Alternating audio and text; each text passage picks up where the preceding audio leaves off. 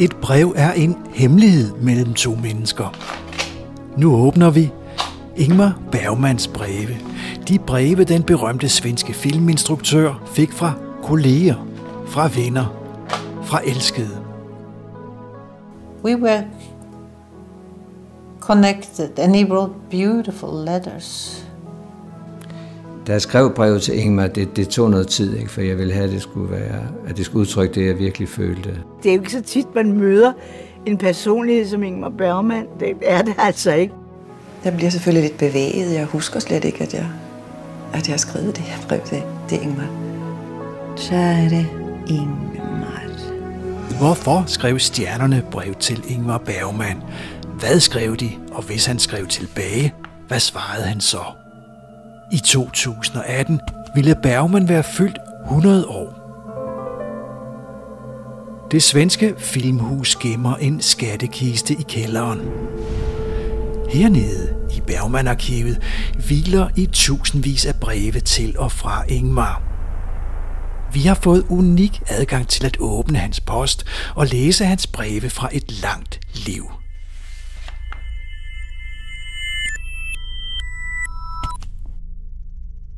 So words that are printed, words that are in letter, they are there and they stay there forever.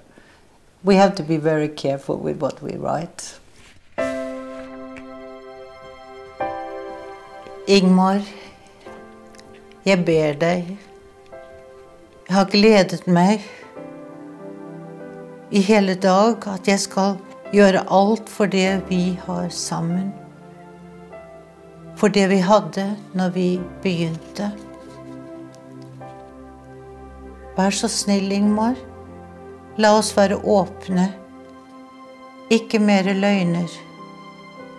Jeg hadde håpet så. Vær så snill. Ullmann og Bergman var et ikonisk par i filmens verden. Privat dannede de også par. Men kærligheden kom under pres.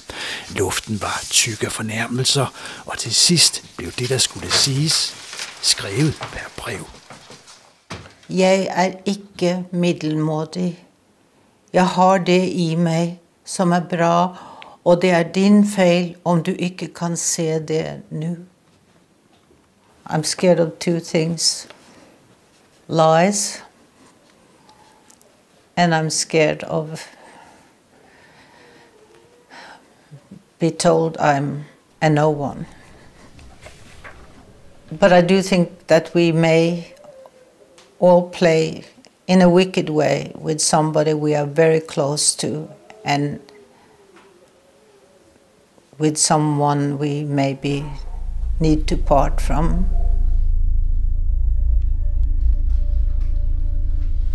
And I do believe that Ingmar was very scared of being seen as a no one, in spite of all the wonder and fame and talent that he had.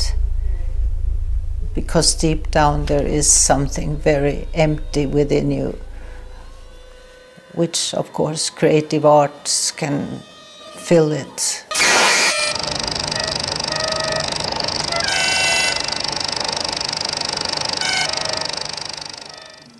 But eye to eye with someone you love, that emptiness is there.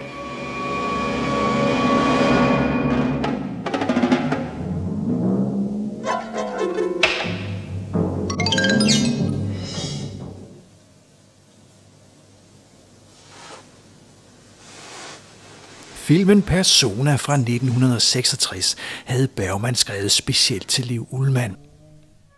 På arkivet findes Ingmars arbejdsbog til filmen krasset ned i hånden, ligesom instruktørens ofte humoristiske breve til Liv.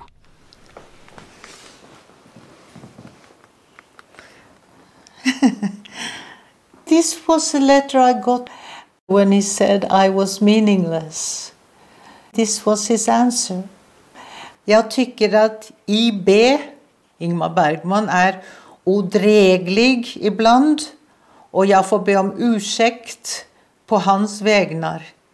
Jag har talat med honom Och han har lovat att vara strålande klockan 14.30. Pingmar med kärlek.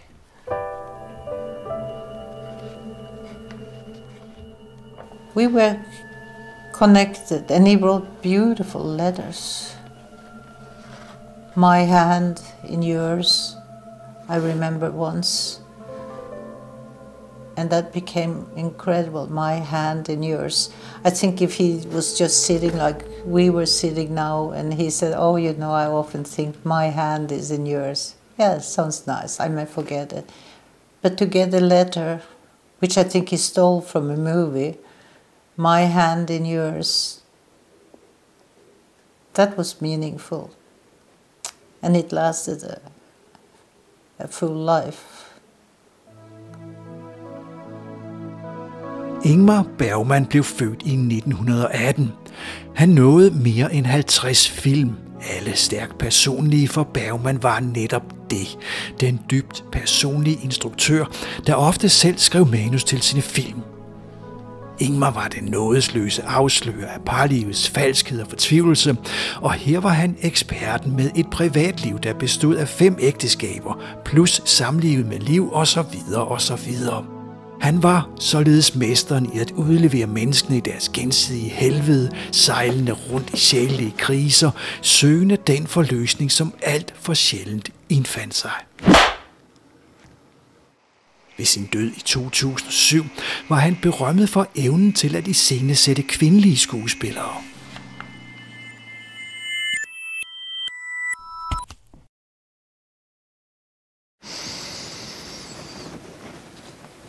Jo, øh, jeg bliver selvfølgelig lidt bevæget. Jeg husker slet ikke, at jeg, at jeg har skrevet det her brev til, til Ingmar. Jeg kan godt huske sådan svagt, at jeg på et eller andet tidspunkt har let efter hans adresse, og at jeg puttede noget i en postkasse, men jeg husker slet ikke, hvad jeg skrev. Kære Ingmar, vi er mange, som tænker på dig just nu. Vi har hørt, at operationen gik bra och nu hoppas vi att det inte gör allt för ont, att din oro inte är allt för mörk, att din irritation är livslevande. Jeg tror nok, jeg har prøvet på ikke at virke for læflende i, i mit tonefald, når jeg skrev det, kunne jeg forestille mig, at jeg har tænkt, at jeg vil ligesom ikke være sådan en, åh, kære Ingmar, du er fantastisk, og jeg håber, du bliver rask, og vi elsker dig alle sammen. Øh, fordi han var jo nemlig også både irriterende og øh, hård, stærk, mærkelig, et komplekst menneske. Og en stærk energi, og det er måske den der energi, jeg prøver på at beskrive som irritation. Filmen Fanny og Alexander fra 1982 blev Ingmars sidste storværk.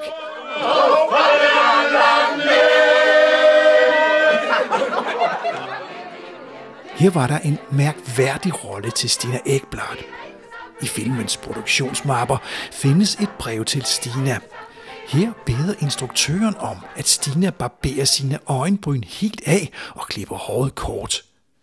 Bergman ved, han chokerer modtageren. Jeg tror nok, min første tanke var, selvfølgelig gør jeg da det.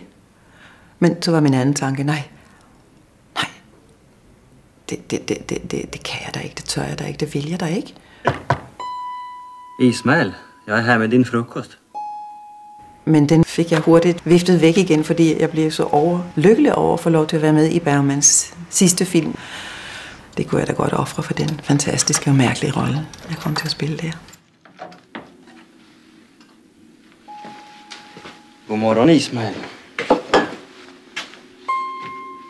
Det här är Alexander Ekdal, en vän.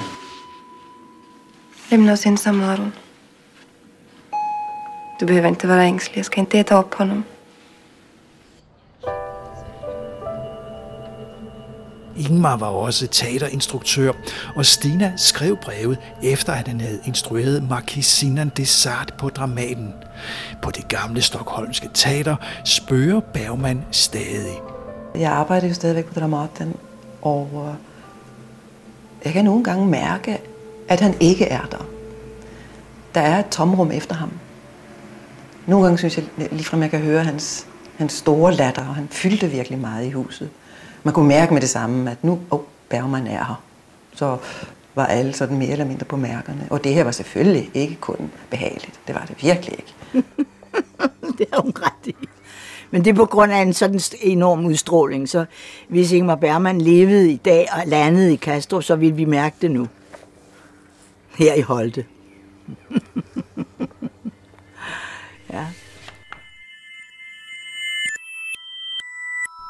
Jeg sidder her og læser et brev, som jeg har skrevet til Ingmar Bergman. Og jeg kan godt huske øh, den fornemmelse, jeg havde, da jeg sad på hotelværelset, og ligesom synes, at jeg havde så mange tanker, øh, som jeg på en eller anden måde gerne ville, ville give frem, eller fortælle Ingmar Bergman. Så det, det er på den måde, det er blevet til.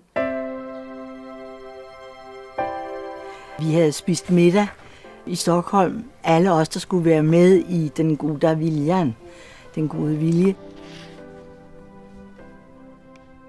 Så har jeg skrevet det her brev. Kære Ingmar, tak for i aften.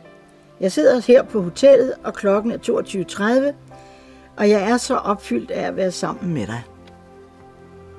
Din kærlighed mod mig er så overvældende og selvfølgelig, at den gør mig aldeles stum. Meget godt skrevet. Jeg kan godt huske det. Jeg gik til svensk, både i Danmark og i Sverige. Øh, og øh, fordi i starten var jeg så sindssygt overrasket over, at jeg skulle være med. For jeg sagde til Bille August, og jeg sagde til Ingmar Bergman, jamen jeg er jo ikke svensk. Og Karin Åkerblom, som jeg hedder i filmen, er altså midt Stockholm.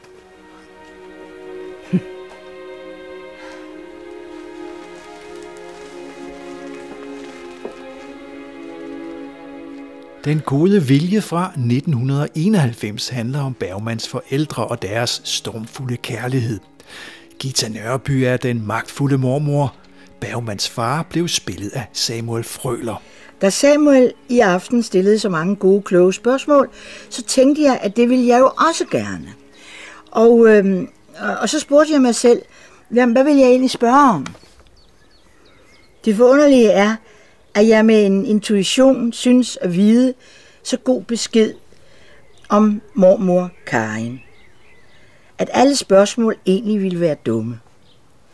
På en underlig måde kender jeg dette ensomme, kærlige menneske så godt. Har du læst brevet? Nej, jeg har inte läst det. Jag skämdes kanske. Om vi läser det där brevet så läser vi för Annas bästa. Eller av svartsjuka. Det er Max von Sydow, der spiller Ingmars morfar. Mormor var ikke bange for at trække i skæbnens tråde, og som ofte set i Bergmans film, så kommer balladen i form af breve. Läs du. Jag har svårt att tyda hans handstil. Vi er så dybt privilegerede, vi som nu skal i gang med den gode viljan, at man ikke tror, det er sandt. Og som du siger, det sværeste er det bedste. Den største udfordring er der, hvor man kan leve og vokse, og så gå til bunds og flyve til værs. Tak for det, og tak for det alt sammen. Jeg er så glad, at jeg sidder her og skratter lidt for mig selv på mit gode hotelrum. Gitas fyldige mappe på arkivet vidner om et livsvenskab, fyldt med lange breve og korte kort. Jamen, det, det, det, det skal jo lige se det. For det er jo så fint. og så står her, kære Ingmar, du har gjort mig glad for resten af mit liv. Din Gita. Klar kan det jo ikke siges.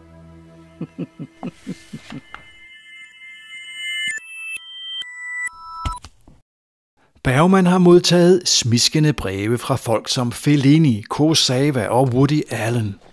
Også Stanley Kubrick lægger sig fladt ned. Amerikaneren roser Bergman og kalder sin svenske kollega for den største nulevende filmskaber. Bergmans Stockholmerlejlighed lå her på Karlaplan nummer 10, og her ankom der i 1998 et brev fra en berømt dansk instruktør med en opfordring. Brevet kom fra Centropa, hvor Lars von Trier havde fået en idé. Den aldrende Ingmar, han skulle lave en dogmefilm.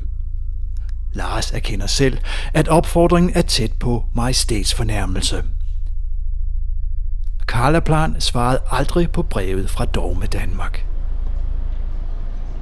Og nok en stor dansk instruktør har skrevet til Stockholm. Denne gang handlede det om en film, som vi allerede har set i den grad blev til noget. Da du henvendte dig til mig også på, om jeg ville øh, lave det her, og så sendte mig brevet, jeg har ikke haft en kopi af det, og da jeg nu sådan genlæser det, så synes jeg faktisk, det er et rigtig, rigtig fint brev.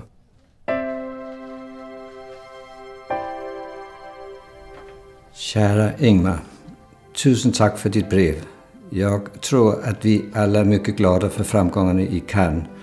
Som du vet var jag något nervös för att långfilmen Den goda viljan skulle kunna leva sitt eget självständiga liv. Sen ska du ha ett livs tack om det finns något sådant för att du gav mig förtroendet att göra den här fantastiska historien. Ingmar skrev manus til Den gode vilje og udvalgte derefter Bille til at instruere den bergmanske familiesaga. Det här kommer jag aldrig att förlåta. Vem kommer du aldrig att förlåta? Är det mig du inte förlåter? Eller din vän? Eller livet, kanske? Eller Gud? Den gode vilje fik en gylden modtagelse. Filmen blev udvalgt til filmfestivalen i Cannes til hovedkonkurrencen i kampen om at vinde de gyldne palmer.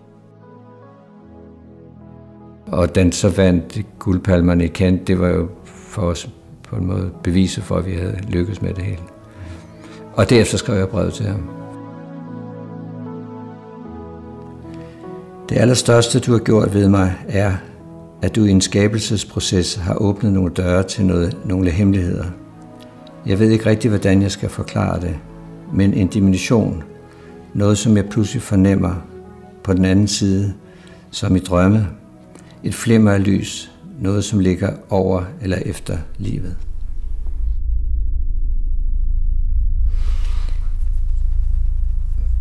Når jeg skriver til Ingmar, at han åbner døren til noget øh, større og noget, der ligger ud over livet, eller større end livet, eller hvordan jeg formulerede det, så tror jeg netop, det er det der univers mellem drøm og virkelighed, som, som jo Ingmar var mester i. Men også, og det, det, er jo, det er jo interessant, når man arbejder som instruktør med, med de psykologiske øh, dimensioner, som der er i hans relationer, i karaktererne, i figurerne, og de dybder, der er i dem. Altså, at, at Ingmar åbner jo hele tiden døre ind til nogle skjulte sider, nogle hemmelige rum, som, som vi normalt ikke ser ind i. At det er noget uforklarligt noget, ikke? Og det kan godt være, at man ikke skal prøve at forklare det, fordi det er, det er jo det, der er så spændende ved film, ikke? Da jeg skrev brevet til Ingmar, det tog noget tid, ikke? for jeg ville have, at det skulle udtrykke det, jeg virkelig følte. Så der var mange klæder, der var mange øh, skitser til det, ikke? Men, men, øh, men jeg mente det inderligt, hvad jeg skrev. Da jeg så genlæste brevet her, så kom alle de der følelser op igen. Og også følelsen af, hvor meget jeg virkelig savner ham, ikke? fordi han, han, jeg kom tæt på ham, og, og det betød utrolig meget for mig at have sådan et menneske i mit liv. Ingmar, det har været en livsoplevelse du har berikat mit liv med noget så djupt og innerligt. Jeg vil bara tacka dig av hela mitt hjärta. Kram, Bille.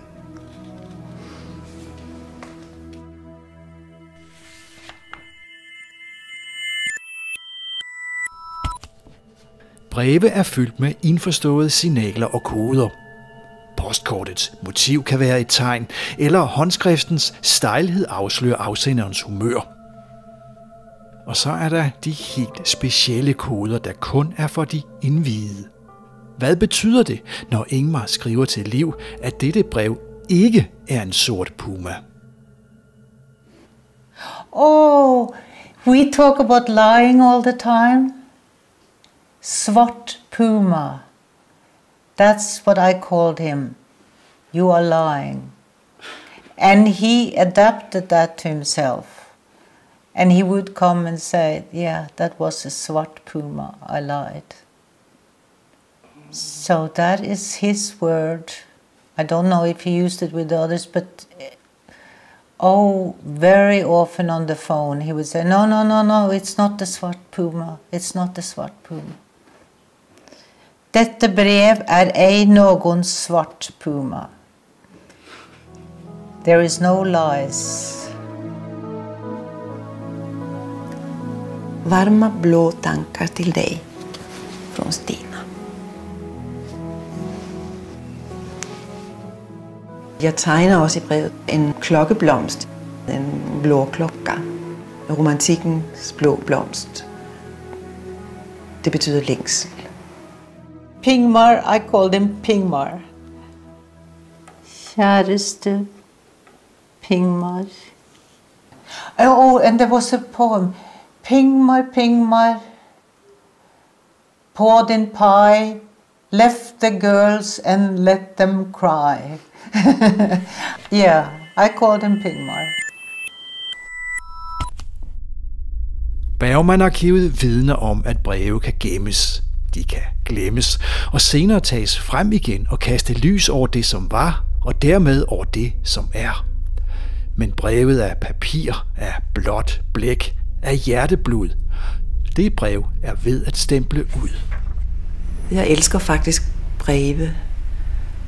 Jeg elsker at få breve, det får jeg ikke så tit, men mail er også fint nok, men et rigtigt brev, det er faktisk noget helt særligt. Og efterhånden, som de bliver, er så sjældent, sjældne, så er det blevet endnu mere betydningsfulde for mig. Alle taler jo telefoner, man skriver sms'er, og det er jo en anden måde at kommunikere på, men jeg vil ønske, at man skrev breve øh, stadigvæk, fordi der er hele den der eftertænksomhed og de refleksioner, man gør sig, når man skal artikulere sig, formulere sig. Papiret, teksturen, tanken om, at der er et menneske, der har siddet og brugt tid på at tage den der pen og formulere sig.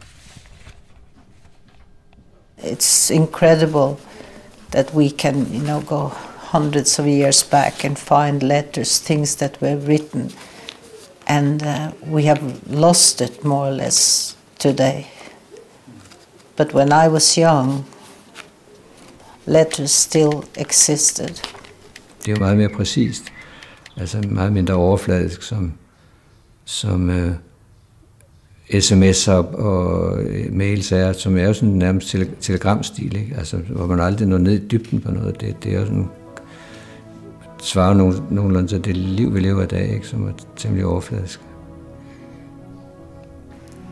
Find en konvolut, find en frimærke, find adressen, put det i en postkasse. Jeg elsker den proces. Og selvfølgelig uddøende, ja. Mm, det kan da godt være, og, og sådan må det jo være med nogle ting. Jeg, jeg har nogen endnu, som jeg skriver breve med. Men øh, nu er vi jo bare ude for, at nu kommer de jo ikke hm, på adressen før med et halvt år. Så øh, øh, jeg tror, jeg vil skrive et nytårsbrev nu. Fordi det det er jo lige før, det hænger sådan sammen. Og tænk, nu havde vi lige fået nogle frimærker, som kunne klæbe af sig selv, hvor vi ikke skulle spytte. Så gik det hele i vasken. and you know a letter given away, it's no more yours. So your truth or your lie is there. And that's why I think people are much more scared of lying in letters than they are when they just sit and they make a conversation. Oh, it will be forgotten that I lied a little, and so letter is there for forever.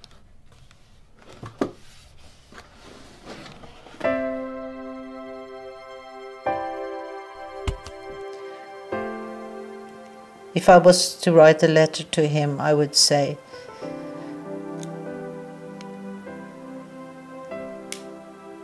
Thank you for being and teaching me what storytelling is about and what connecting is about.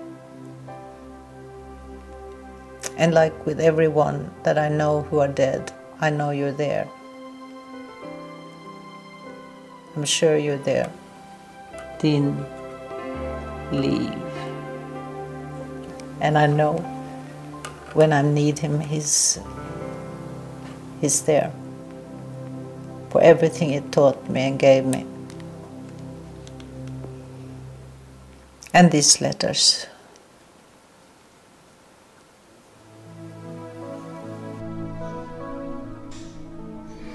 Hvis jeg skulle skrive et brev til Ingmar i dag, så tror jeg bare, jeg vil øh, takke ham for den måde, som han har været inspirationskilde for utrolig mange instruktører. Den måde, som han har så vedholdende har insisteret på at lave de film, som har, som har været vigtige for ham, og aldrig er gået på kompromis.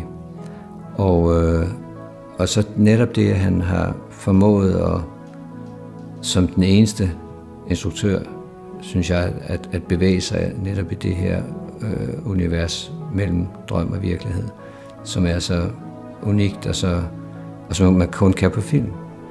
Det vil jeg takke ham for.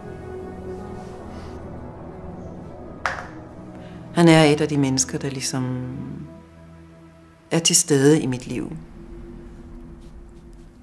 Kære Ingemar. Han har lært mig meget. At mennesket er mange forskellige ting. Det mørke og det lyse kan godt findes inden for det samme menneske. Mennesket er en afgrund. Det har han hjulpet mig med at forstå og se. Og han har hjulpet mig at blive klog på, hvad mennesket er. Det vil jeg skrive og sige ham tak for. Du är fortfarande saknad.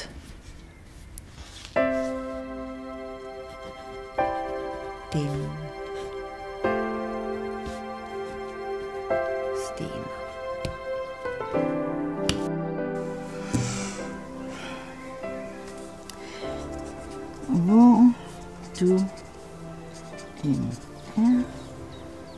Vi var også så privilegerede, vi skuespillere og kunstnere, som fik lov til at arbejde med Ingmar Bergman.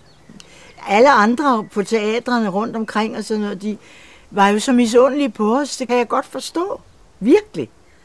Fordi det var ligesom at blive udvalgt i en stor buket. Ja. Du er blevet en del af mit liv. Ingmar Bergman efterlader noget hos mig, det kan jeg godt sige. Og noget, jeg bruger til at dø. Din Gita. Hvad er det?